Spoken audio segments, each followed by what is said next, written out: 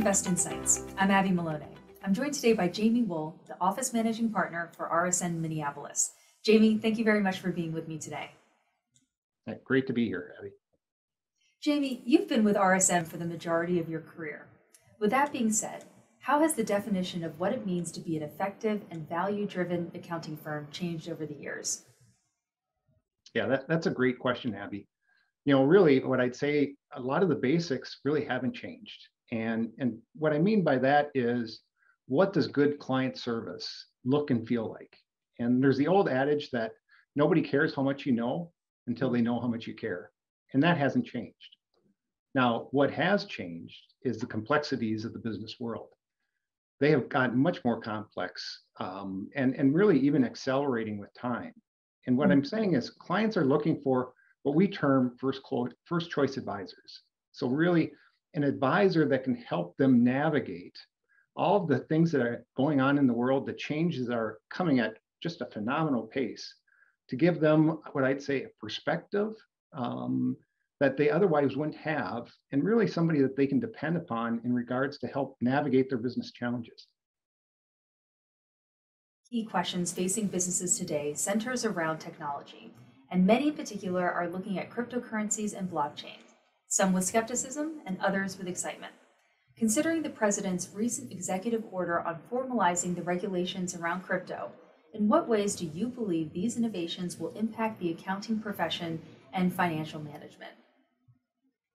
Yeah, that, that's a, a really great question. And it it already has impacted us, but I think we're just seeing the tip of the iceberg. And, and I'd use the analogy of, of think about where the internet was in the early to mid 90s. We, we had no idea where this was going to go and how disruptive it was going to be to all of our lives. Same thing with blockchain and crypto.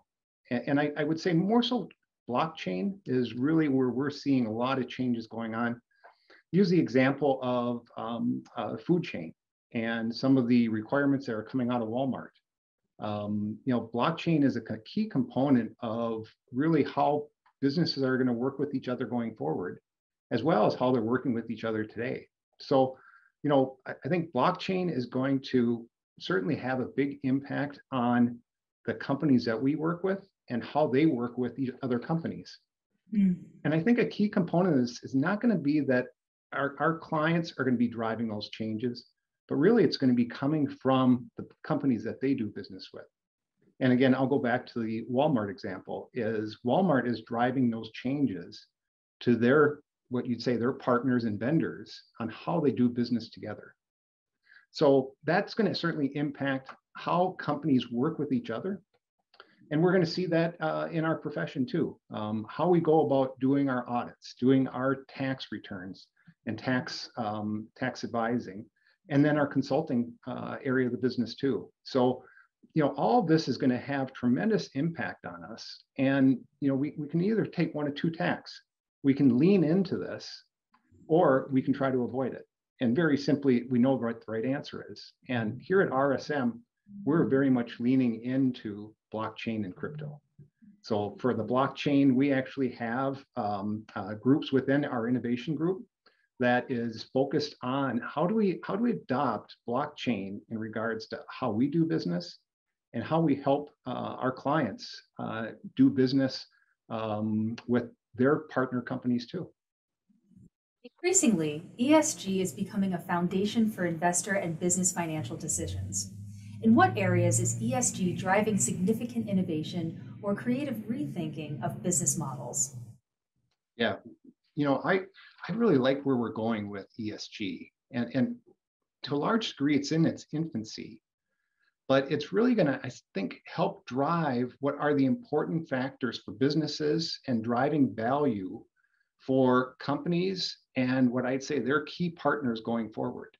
So ESG is such an important part of this because it helps align what um, where businesses are going, their strategies, um, where they see opportunities, and with their key stakeholders. And so their key stakeholders, of course, include investors, um, but also in regards to who they do business with, um, who who's going to be their employees going forward, and what are their corporate values, And how does that align with what's um, so important out there in the world today of how companies um, position themselves for the future, how they position themselves for success, um, and, and, how they um, create alignment uh, for what I'd say creating future value. So um, we're, we're very excited about the opportunities that ESG pre presents, um, both in regards to working with our clients as well as what um, uh, our corporate values here at RSM evolve around that too. As we round out today's discussion on creativity, what role does creativity play in remaining competitive in today's landscape? Yeah, a, a great question there. You know, um, we look at creativity, we call it innovation. Um, so we have a chief innovation officer uh, within RSM, and, and that person's role is hey, let's figure out where are things going. Um, you go back to the days of Wayne Gretzky um, being his hockey career, and his comment was, I'm successful because I go where the puck's going, not where it is today. And that's exactly how we look at creativity and innovation is where are things going and not necessarily where are things going today. An example of that is we've created a CEO innovation fund. And really what this is, is it's $5 million that we've set aside within RSM. And those monies are available for our employees to create, um, submit creative ideas in regards to, you know, what is a process that we could be doing better um, in regards to either um, taking out time or uh, expense out of some of the process that we're doing right now. And secondly, what are some of the processes that are going to be um, important to us going forward that we're maybe not thinking about right now? Right. We find the best ideas really come from what we're seeing in the market, as well as what our employees are telling us. And so we've got um, an actual team uh, put together that helps look at all these uh, submitted innovation ideas and putting those into actual practice. And, and we've mm-hmm. had some really tremendous success on, on those ideas. And, and those aren't coming from a group, but they're coming from our employees and what we're seeing in the marketplace too. Fabulous. Well, thank you so much, Jamie. Great, great. Yeah, this is great. Been uh, enjoyable to spend some time with you uh, this afternoon. Same.